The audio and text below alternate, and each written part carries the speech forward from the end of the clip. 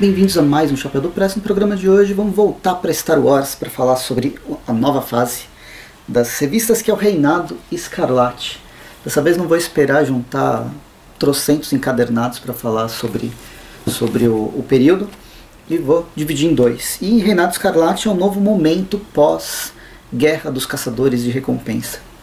Bem, sempre que eu começo a falar sobre, e aqui eu trouxe ainda Caçadores de Recompensa e Star Wars Volumes 4, né? Que tá, dá continuidade às mensais.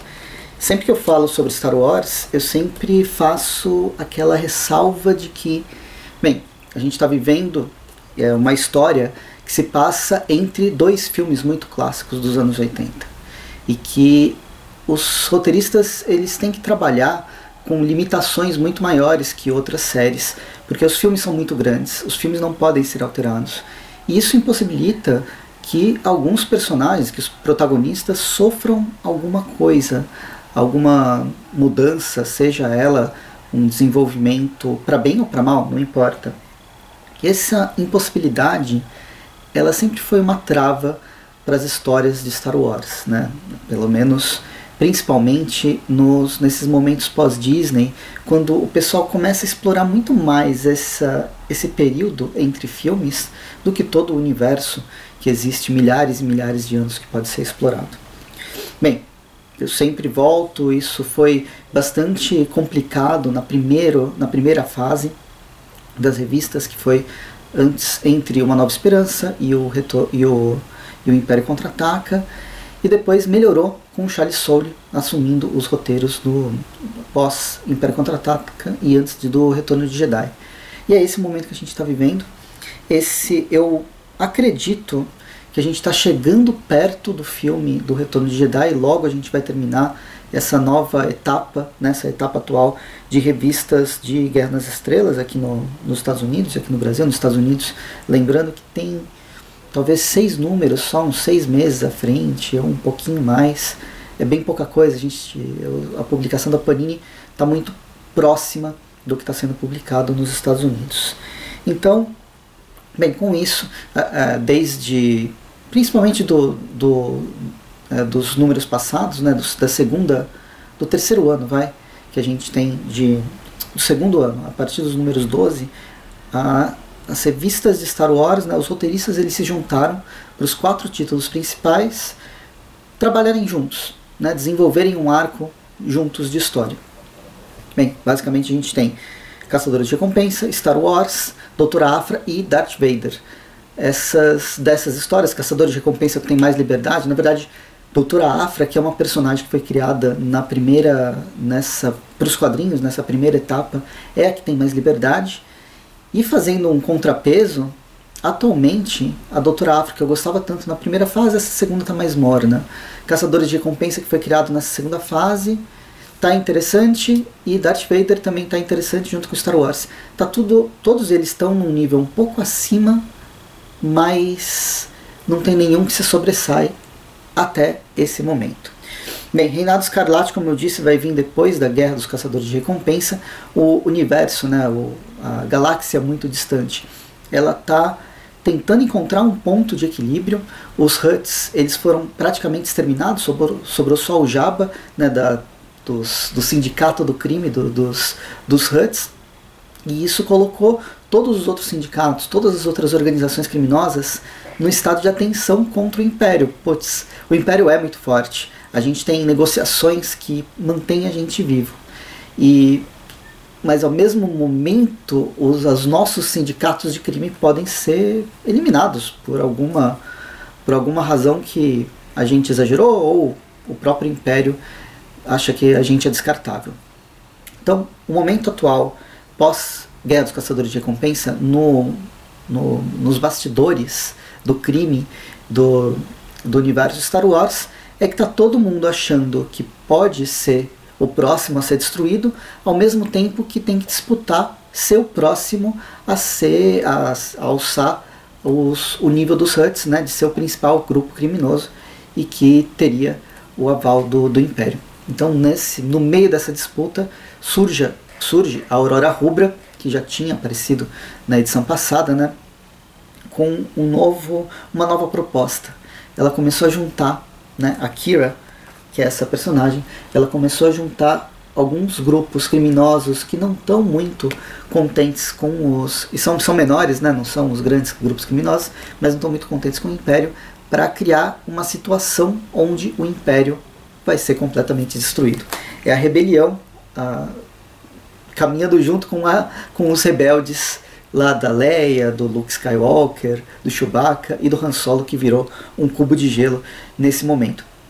Então essa é a situação. Lembrando que a Kira ela foi treinada pelo Darth Maul. Então ela tem conhecimento sobre os Siths, ela não tem ligação com a força, mas ela tem alguma um conhecimento bastante profundo. E é muito interessante a forma como a Kira está sendo é, trabalhada, porque ela é bastante inteligente, ela é estrategista ao máximo. Então ela está 10 passos à frente de todos os de todos os inimigos. Mas esses 10 passos à frente também deixam ela um pouco arrogante, e é na arrogância que ela pode acabar perdendo. Bem, essa o Reinado, Reinado Escarlate ela é uma, foi uma minissérie em cinco partes lançada nos Estados Unidos entre fevereiro e agosto de 2022, roteiro do Charles Soule, que é o grande idealizador dessa fase de Star Wars, desenhos do Steve Koonin e a arte final do Vitor Olazaba com cores de Guru FX, que é um, é um, é um estúdio. A gente já começa sabendo que vai estar tudo errado, até porque a gente sabe que o Império não foi destruído por um grupo rebelde de criminosos da galáxia. E essa e é um, alguém que encontra esse, esse orbe, que é um holocron, basicamente um tipo de holocron. E essa mulher, que faz parte do grupo da Kira, ela começa a contar o que foi a derrocada da Aurora Escarlate. E aí a gente vai acompanhar as, esse início do, dos planos, como que os grupos são é, cooptados, e a cada capítulo a gente vai ver esse desenvolvimento para criar o caos na galáxia e fa fazer o império supor que os grupos criminosos estão se matando. Mas na verdade existe um plano muito, muito mais ardiloso por trás. É, é interessante a forma como esses, esses planos são criados, todos os personagens que são apresentados e tal, e ao longo da minissérie a gente vai acompanhar a cada capítulo pequenas missões que vão incomodar o Império, até que o, o Império se toca e ele resolve atacar a Aurora Rubra com tudo. E esse é o final, do, é o ápice né, narrativo da história do encadernado, mas também é o final desse encadernado que vai apontar tanto para as quatro edições, é, dos os quatro títulos mensais, que vão desenvolver de uma forma ou de outra esse cenário, quanto para o Império Oculto, que é o próximo, a próxima etapa desse, desse cenário de Star Wars. Olha só aqui, por exemplo, os Cavaleiros de Rain, que a gente vai conhecer muito mais pela trilogia mais recente, mas eles já existiam no momento pó, é, pré, pré-queda do Império. Bem, enquanto isso, a gente vai para Caçadores de Recompensa. Aqui a gente tem as edições 18 a 22, os roteiros são do é, Ethan Sachs, com desenhos de Ramon Bach e Paulo Villanelli, com cores de Brian Valenza e Arif Prianton são duas é, são dois arcos, então tem equipes criativas diferentes.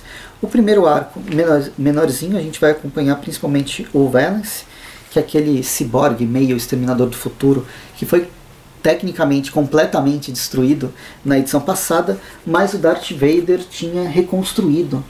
E agora ele está coagindo o Valence a trabalhar para o Império.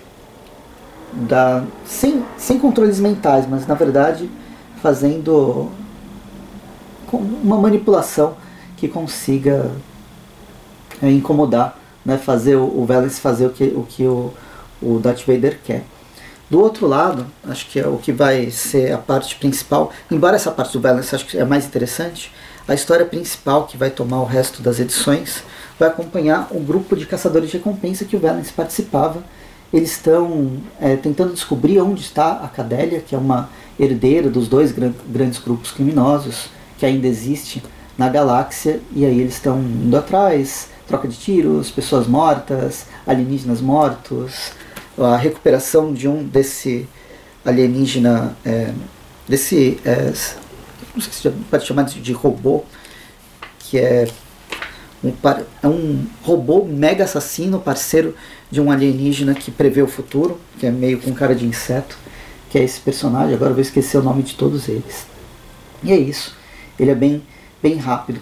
Mas, encerrar o vídeo, eu tenho, vou falar de Star Wars. Star Wars, volume 4, edição 19 a 25, roteiro do Charles Soule, desenhos de uma pancada de gente, arte final da Daniele Orlandelli e cores de várias pessoas também, inclusive a Rachel Rosen, Rosenberg está aqui nessa história. Aqui eu só posso dizer uau. Nossa, foi uma grande surpresa, como eu disse, Star Wars, de todos os títulos do universo expandido de Star Wars que está sendo publicado agora pela, pela Marvel e pela, pela Panini, Star Wars é o mais engessado porque ele vai trabalhar com os personagens protagonistas, né, o que a gente mais conhece. Sim, Darth Vader existe um desenvolvimento mais fácil, porque o Darth Vader é praticamente um personagem pouco explorado na série clássica de filmes, ele vai ser explorado depois em expansão ou no, nas, na, na trilogia prequel. O, o cenário, os personagens principais que são os rebeldes, eles são os mais. os que a gente mais conhece. Então é difícil fazer alguma coisa com eles. O Charles Soule conseguiu, já desde o, da segunda etapa, da, do terço final dos, dos personagens na, na fase anterior, né, pré é, o Império Contra-Ataca, e agora o pós-Império Contra-Ataca, ele conseguiu inovar trazer histórias, trazer novos protagonistas, novos personagens, apresentá-los de forma a gente se importar com eles, sem esquecer dos personagens clássicos. Então existe um equilíbrio muito bom, onde inclusive personagens clássicos são desenvolvidos sem que isso impacte, é, sem que a gente perceba que isso impacte nas, no, nos filmes. É um trabalho minucioso e difícil, que está sendo feito muito bem e que esse volume 4 atingiu o ápice. Eu gostei muito e me surpreendi por ter gostado tanto, por ser é, justamente surpreendido pelo que aconteceu aqui.